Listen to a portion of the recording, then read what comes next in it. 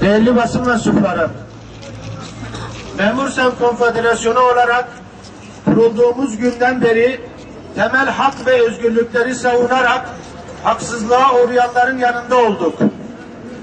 Başörtüsü yasağı ve kat sayı engeliyle başlayan baskı ve dayatmaların yoğun olduğu zamanlarda bu duruşumuzdan taviz vermeden mücadelemize devam ettik.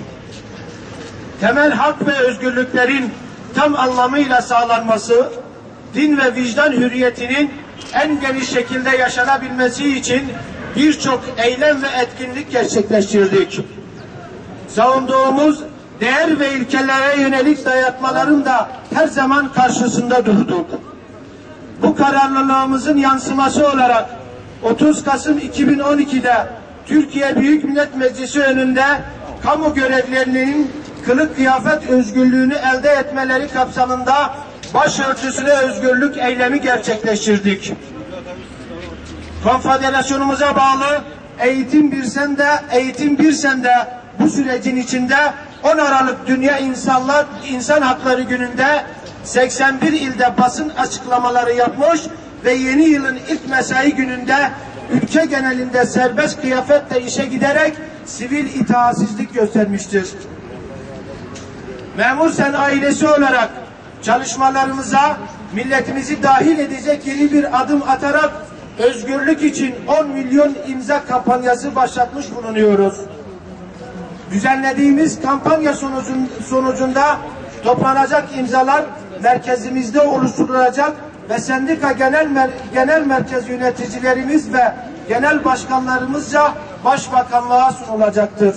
Bir yanda büyüyen Türkiye ideali, bir yanda kılla, tüyle uğraşan tek tipçi devlet mantığı. Karşımızdaki tablo şudur. Milletin seçtiği vekiller kendi kıyafetini seçememektedir. Başbakanı, Cumhurbaşkanını seçen kadınlarımız çalışma hayatında kendi kıyafeti, kıyafetini seçememektedir. Başı açık çalışabilen kadınlar varken başını örterek çalışma hakkını kullanamayan kadınlar gerçeği de göz ardı edilmemelidir. Milyonların oyuyla milletvekili seçilen Merve Kavakçı'ya darbe dönemi ürünü bir iş tüzükle haddi bildirilmiştir. Kadınlara başı, başı açık olmayı dayatan, kazağın yakasıyla, pantolonun kumaşıyla, ayakkabının topuk, topuk boylarıyla ilgilenen anayasada ve herhangi bir kanunda olmayan 1982 model darbe dönemi kalıntısı kılık kıyafet yönetmenliğinin değiştirilmesini istiyoruz. Referandum, referandumda kadınlara ayrıcalık hakkını onaylayan milletimiz bilsin ki kamuda kadınlar kategorize edilmekte ve kadınlar arası ayrımcılık uygulanmaktadır.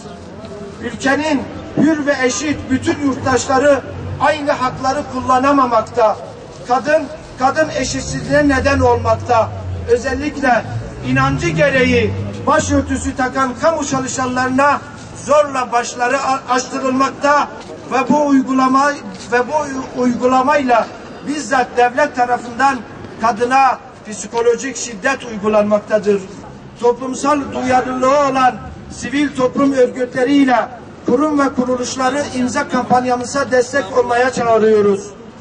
İmza kampanyamız konfederasyonumuza bağlı 11 sendika, şube başkanlıkları, il, ilçe ve iş yeri temsilcilikleri tarafından standlar açılarak yürütülecektir. İmza kampanyamız konuyla ilgili yapılacak sempozyum, panel, konferans, afiş ve benzeri çalışmalarla gündemde tutulacaktır.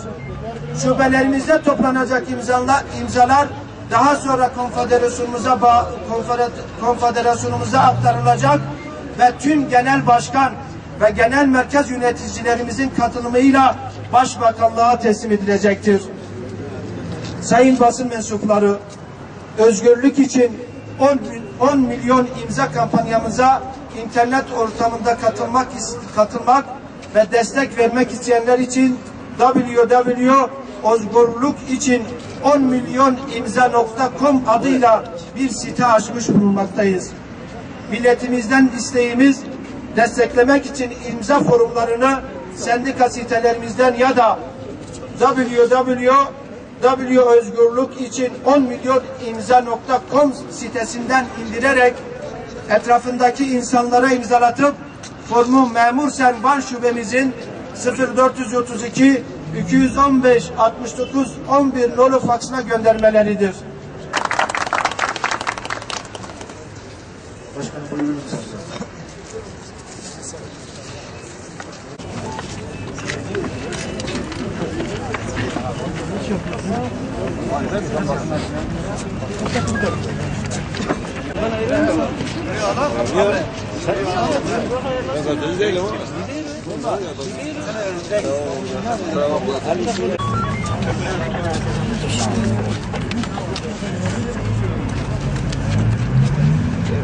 Ulan şey bakın basan bakın.